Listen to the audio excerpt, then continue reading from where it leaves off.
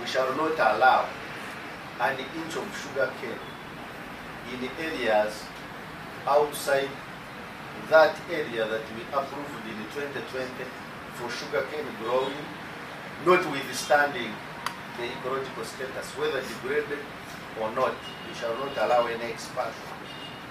Two, we are ordering the company to stop any further deforestation of the natural reserve forest area, ecotourism area, the cultural sites area, and land reserved for the urban center. Three, we have rescinded our area approval of 312.3 hectares area approved for the development of the urban center. We have rescinded this approval to protect the 312 hectares which we found is not yet degraded, is not yet cut.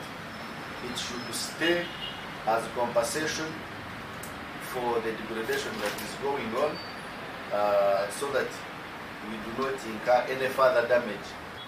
We have rescinded our approval. The urban center won't be there anymore.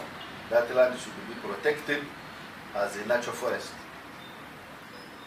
We have also ordered the company to prepare a restoration plan for the degraded areas in consultation with the Forestry Sector Support Department of the Ministry of Water and Environment, the National Forestry Authority, and Uganda Wildlife Authority, and submit the restoration plan to this authority for approval within a period of not more than three months. Download the app on App Store or Google Play Store now.